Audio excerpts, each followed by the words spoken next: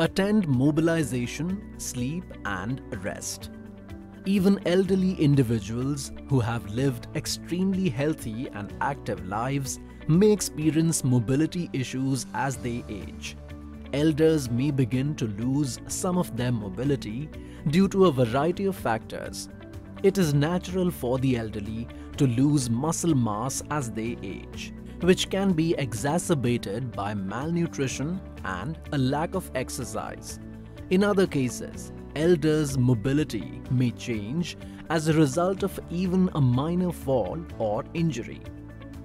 Elderly people may find it more difficult to be active due to chronic pain, illness, or medication side effects.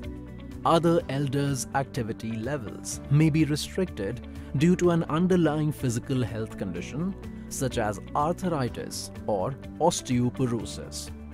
For the elderly, losing the ability to move freely can have a significant impact on their quality of life.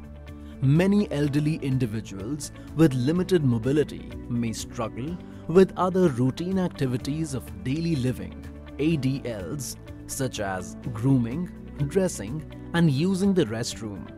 Many elderly individuals may be embarrassed or frustrated by their physical limitations, and they may react with rage or sadness.